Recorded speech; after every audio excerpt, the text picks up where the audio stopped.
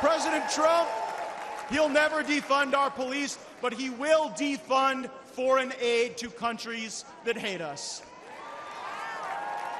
And President Trump understands that if it isn't racist to check ID for a hunting license or welfare benefits or a fishing license, then it is okay to demand an ID to vote everywhere in this country in every election that's held.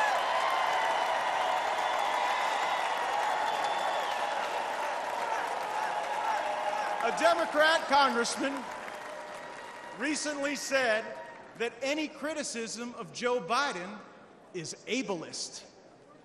I don't think it's too much to ask that the American president be able to do the job.